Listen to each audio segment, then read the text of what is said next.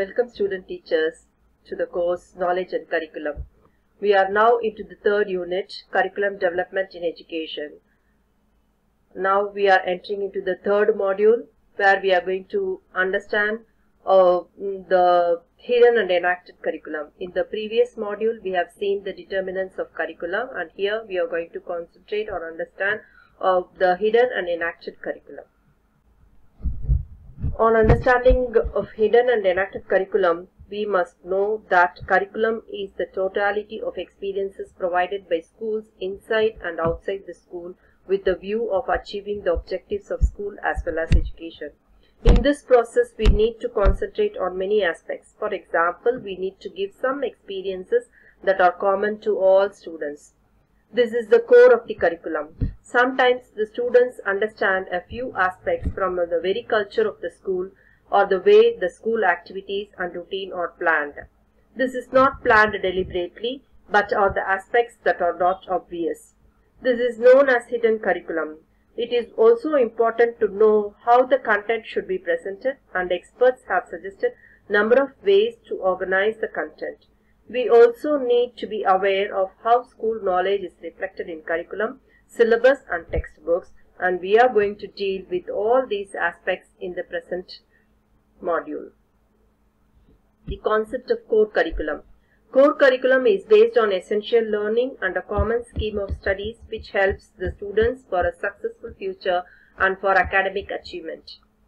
Core curriculum is a set of school or college courses in subjects considered essential to a suitable education as providing necessary skills or common cultural knowledge.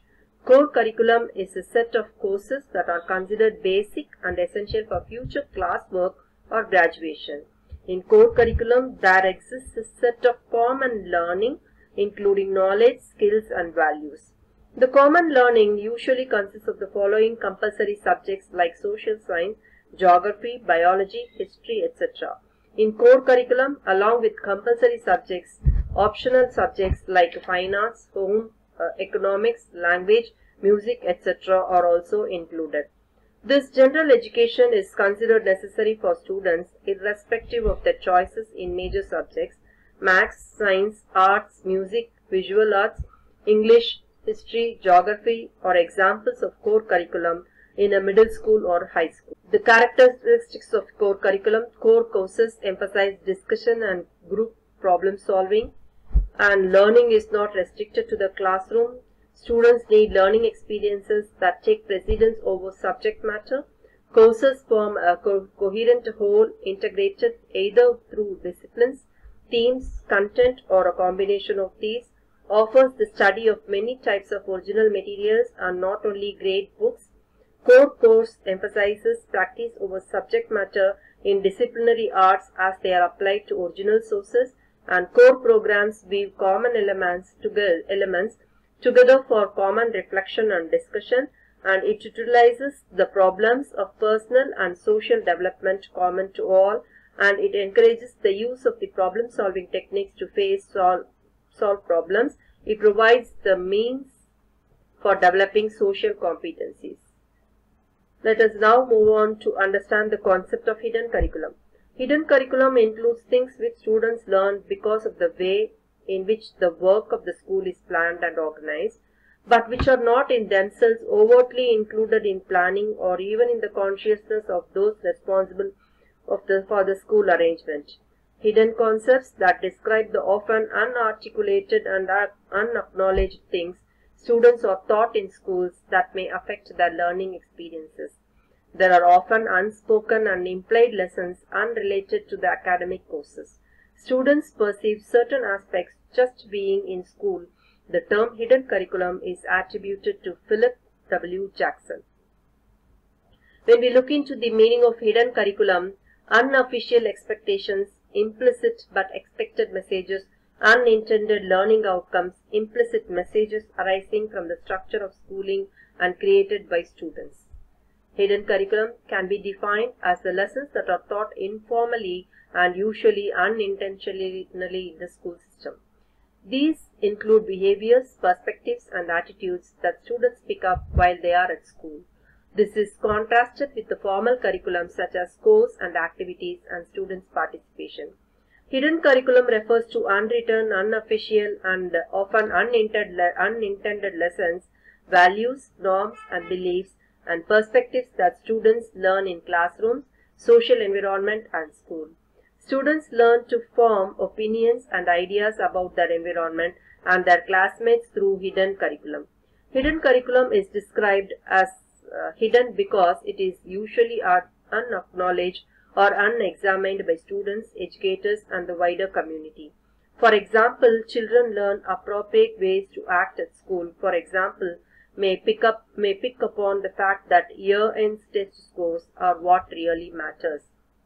When we look into the characteristics of hidden curriculum, it consists of unspoken and implicit academic and social and cultural messages that are communicated to students while they are in school coping with continuous evaluation and dealing with unequal power share, has scope for undemocratic teacher behavior and practices, for high control for student behavior, for isolation of students from teacher, for valuing content over process, for valuing convergent thinking over divergent thinking, for valuing answering questions than asking questions for social comparison. The key features of hidden curriculum are non-academic focus on teaching values and skills apart from the official curriculum, consciously or unconsciously hidden at least for a group of students, not written and not explicitly acknowledged, and has potential to lead to positive and negative, in, uh, negative influences on individuals. The aspects of learning contributing to for the success or failure of the hidden curriculum. Social structures of classroom and environment of the school give rise to hidden curriculum. Teachers' exercise of authority. Rules governing the relationship between teachers and students. Standard learning activities. Teachers' use of language, textbooks and audio-visual aids. Furnishing architecture and disciplinary measures. Timetables, tracking systems and priorities to curricular activities. The physical school environment can be a component of hidden curriculum because it can impact learning. Peer pressure, child is ridiculed, teased and made to feel inferior by peers. Cultural expectations. The academic, social and behavioral expectations established by schools and educators communicate messages to students. Low academic expectations which may lead to negative effects on students' academic achievement or feeling of self-worth. Cultural values. The cultural values, the values promoted by schools, educators and peer groups may also convey hidden messages. For example, some schools may expect the reward conformity while punishing non-conformity, whereas other schools might celebrate and even celebrate non-conformity. Cultural perspectives. How school integrates diversity and multicultural perspective may convey both intentional and unintentional messages. Curricular topics. The subject that teacher chooses for courses and lessons may convey different ideological, cultural and ethical messages. Teaching strategies. The way that school and teachers chose to choose to educate students can convey both intentional and unintentional messages. School structures. The school program organized can convey messages to students. For example, non-English speaking students are largely separated from their peers for most of the school day, which affects students' sense of cultural belonging.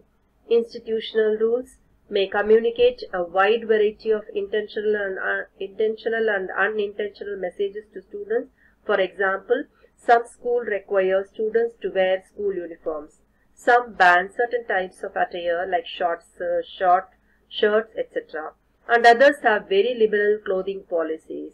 The district dress code policies communicate that uh, students will be judged on appearances on inside and outside of school, while looser policies might communicate that they will be judged on other qualities.